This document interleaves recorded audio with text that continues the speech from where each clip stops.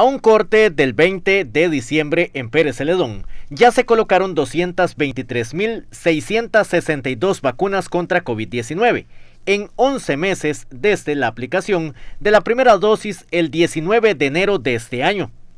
Veamos los datos de aplicación según el área de salud de nuestro cantón. Primera dosis, más de 58 años, 24.212. De 18 a 57 años, ya recibieron la vacuna 79.374 personas. De 12 a 17 años, 11.658, para un total de primeras dosis de 115.981. Pasamos a segundas dosis.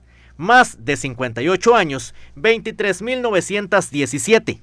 De 18 a 57 años, 68.042 y de 12 a 17 años ya recibieron la segunda dosis 9.579 personas.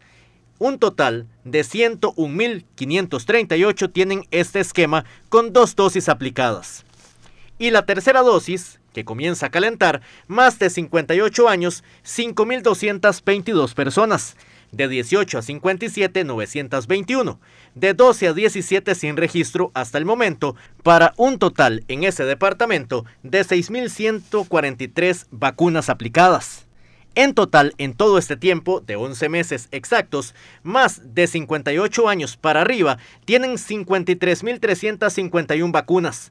De 18 a 57 años, 148.335, que es la población más grande. Y de 12 a 17 años, 21.974, para un total de vacunas aplicadas aquí en Pérez Celedón de 223.662.